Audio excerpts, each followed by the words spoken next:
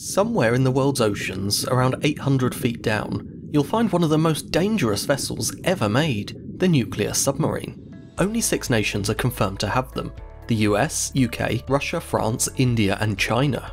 Unlike regular submarines, nuclear ones are truly enormous. For example, the Ohio class, operated by the US, is 170 metres in length with a displacement of nearly 19,000 tonnes. To put that into perspective, the Statue of Liberty is only 93 metres tall.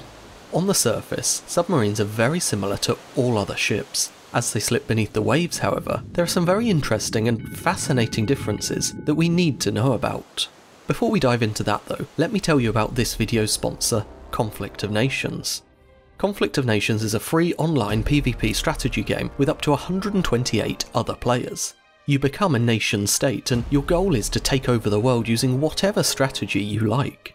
Maybe you prefer diplomacy and forging alliances with powerful allies, or maybe you'd rather declare war on your neighbours and become the most dominant force yourself. Of course, my favourite part is building my navy where I get to add attack or ballistic submarines, corvettes, frigates, destroyers, cruisers, and even aircraft carriers.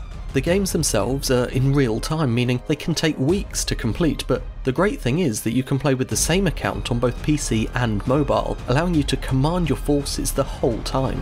Click on the link in the description down below and you will get an exclusive gift of 13,000 gold and one month of premium subscription for free. Don't lose time though as this offer is only available for the next 30 days.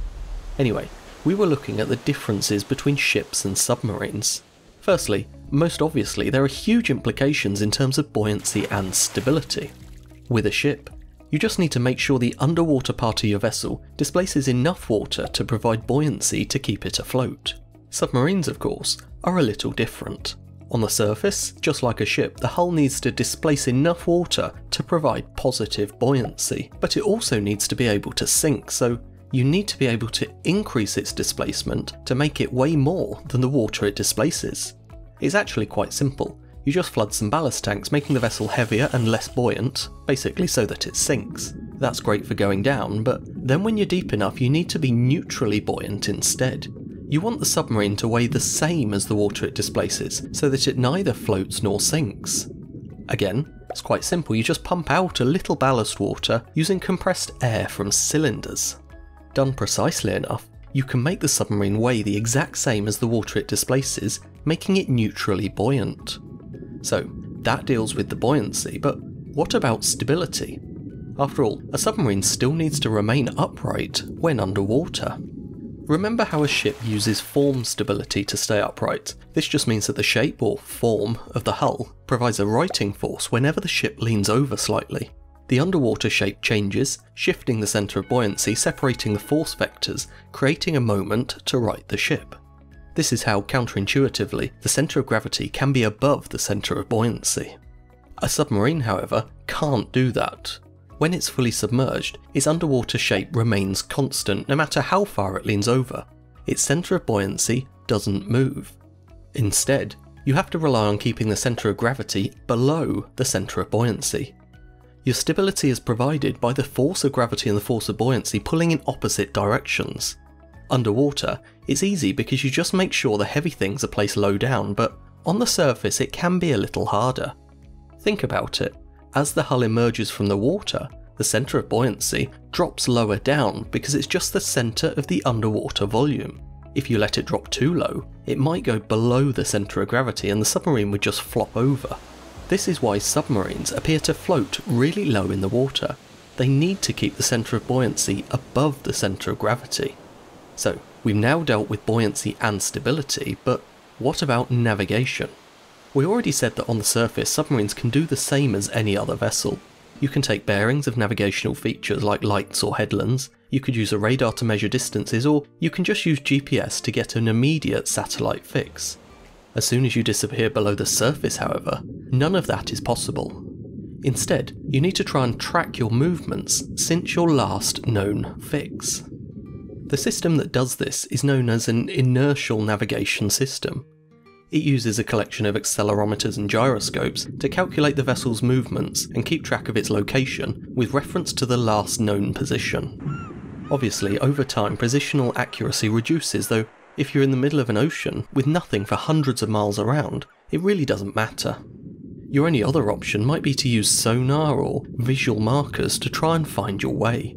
Of course, visual markers are fairly useless underwater because it's so dark you can't actually see anything. This is why recently the USS Connecticut apparently ran into an underwater mountain. They just didn't see it. So, what about sonar? Well, that would immediately give away your position, so that's actually a non starter too if you want to operate unseen, as most military submarines do. Of course, if we're saying that sonar is so loud that it gives away your position, what about the submarine's engines? Well, this is another interesting fact about submarines. They're actually powered by electric motors, so that they can run almost silently. I know you always hear about either diesel or nuclear submarines, but that's only referencing the source of the electricity. Diesel submarines come to the surface to run their diesel generators and charge their batteries. Nuclear submarines have a mini nuclear power station on board to continuously generate that power instead. The electrical power drives not only the propulsion electric motors, but also the rest of the submarine systems. I'm talking about everything, including the navigation systems, the freshwater generators, and even the oxygen generators. Remember, to stay submerged for extended periods, the submarine needs to be able to generate its own fresh air for the crew to breathe. You can use scrubbers to remove carbon dioxide, but you also need to add oxygen. Of course, the vessel itself actually has a limitless supply of oxygen surrounding it, it's just that it's bonded with hydrogen in the form of water. To separate it out, you can use a process called electrolysis. Just pass an electrical current through two electrodes submerged in water, H2O, and you will get oxygen produced at one and hydrogen produced at the other. Of course, as with everything, it's not quite as simple as that. If you attempt electrolysis with seawater, you'll actually produce chlorine gas because of the salt or sodium chloride in the seawater. You don't need me to tell you how dangerous chlorine gas would be. So, you need to make sure your oxygen generators are fed with fresh water Fortunately, the submarine needs to have freshwater generators for drinking water anyway, so you can just use some of that for electrolysis as well. There are plenty of technologies that can create fresh water from seawater. Evaporators or reverse osmosis systems are the most common, or you could simply have a load of fresh water in storage tanks. With a large enough fuel supply, like a nuclear reactor, submarines can actually generate almost everything needed to sustain life. The only thing it can't make is food, which is why the food supply on board is actually the governing factor when it comes to extended deployments. And that brings us to the end of today's video. Again, a massive thank you to today's sponsor, Conflict of Nations, a free online PvP strategy game where you get to take part in modern global warfare. Choose your own strategy, maybe even with submarines, and engage in epic battles to take over the world. Remember, for the next 30 days you can get an exclusive gift of 13,000 gold and one month of premium subscription for free.